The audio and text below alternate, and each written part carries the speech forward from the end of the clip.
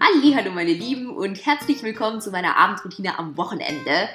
Ich dachte, ich zeige euch mal, was ich kosmetiktechnisch so mache, wenn ich ein bisschen mehr Zeit habe.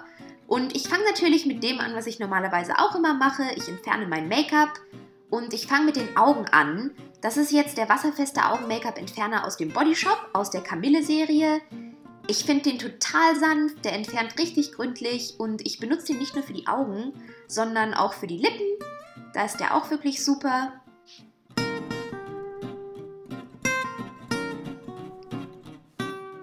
Und um dann so den Großteil von meinem restlichen Make-up zu entfernen, benutze ich im Moment total gerne die Reinigungstücher von Rossmann. Die sind richtig günstig, kosten ungefähr 1 Euro, es sind 25 Stück drin. Und ich finde die, dafür, dass das Reinigungstücher sind, total gründlich und ich benutze sie wirklich unheimlich gerne.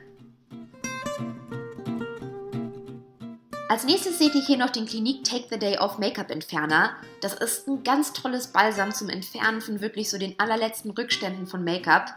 Es ist sehr ergiebig, man braucht also nicht viel von dem Produkt und man massiert es einfach so in die trockene Haut ein, spült es dann mit Wasser ab und ich schwöre euch, es wird kein bisschen Make-up mehr auf eurem Gesicht übrig bleiben. Also es ist echt ein tolles Produkt. Danach springe ich unter die Dusche und das sind die Produkte, die ich da benutze. Das ist einmal das Shampoo Seidenglanz mit Feige und Perle von Balea. Außerdem ein Duschgel von Treacle Moon, das ist neu und heißt Iced Strawberry Dream. Und das hier ist ein bisschen ungewohnt, aber ich mache es so einmal die Woche total gerne. Das ist so ein Peeling-Bimsstein, habe ich bei Rossmann bekommen. Und naja, den benutze ich zur Fußpflege, wie man an der Form von diesem Ding sehr leicht erkennen kann. Als nächstes benutze ich eine Haarmaske von Aldi. Also ohne Witz, die ist wirklich richtig gut. Kostet 2-3 Euro und es steht zwar eine Minute Intensivkur drauf, aber ich habe es immer ganz gerne, die Maske richtig gründlich einzuarbeiten und sie danach in so einem Turban so mindestens 15 Minuten einwirken zu lassen. Also ich bilde mir ein, dass sie dann besser pflegt.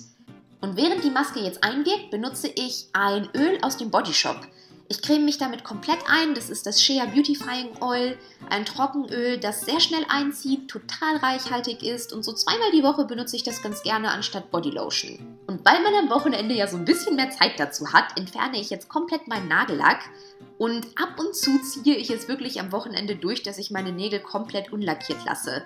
Das äh, fällt mir ein bisschen schwer, aber das ist jetzt der acetonfreie Nagellackentferner von Maybelline und ich glaube, es tut den Nägeln ab und zu echt ganz gut, mal ein paar Tage unlackiert zu sein. Also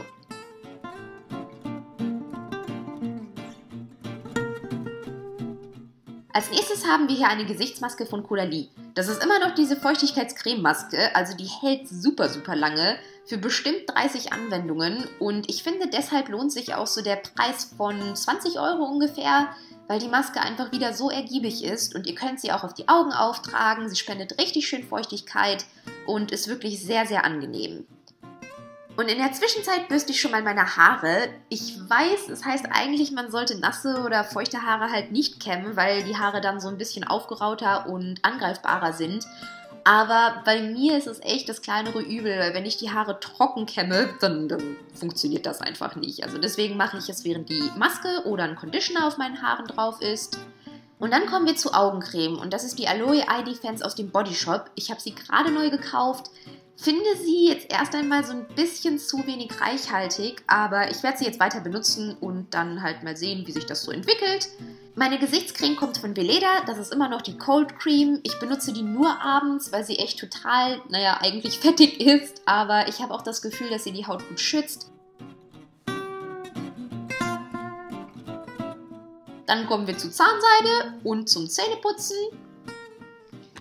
Nichts Besonderes, was ich euch da erzählen kann. Und als Lippenpflege benutze ich danach so ein Lip Roll-On aus dem Body Shop in der Geruchsrichtung Rose.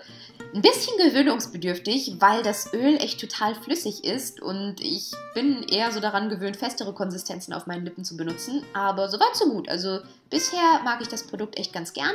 Und wenn meine Haarkur dann ausgespült ist, benutze ich noch etwas zur Haarpflege und zwar die Feuchtigkeitshaarmilch von Balea. Und die ist so gut. Also ich brauche so vier bis fünf ungefähr von diesen Pumphüben und massiere das Ganze dann richtig gut und auch ordentlich in meine Haare ein. Also ruhig großzügig, weil die jetzt nicht zu fettig oder so ist. Also danke nochmal an all diejenigen, die die Haarmilch empfohlen haben. Als letztes Produkt für heute benutze ich noch eine Handcreme von Florena. Das ist das Handkonzentrat. Riecht richtig klasse und ist so ein bisschen ergiebiger als die Olivenhandcreme von Florena. Also richtig toll. Und das war's dann für heute, zumindest was Kosmetik angeht. Also ich werde jetzt höchstwahrscheinlich im Bett noch ein paar YouTube-Videos schauen und ich hoffe, wir sehen uns im nächsten Video wieder. Macht es gut, ciao!